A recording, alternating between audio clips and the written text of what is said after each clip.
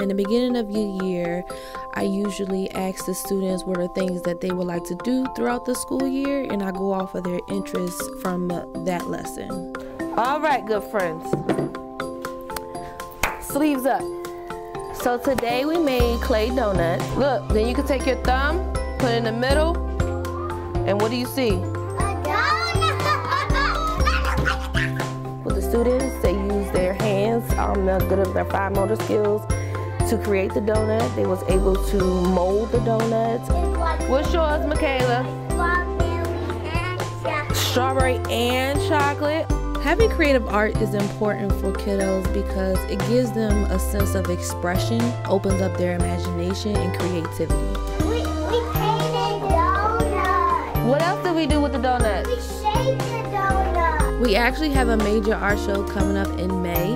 Last year, during our end of the year celebration, we did a small display of the children's art. So this year, we decided to have an art show. It will be our very first one for the school.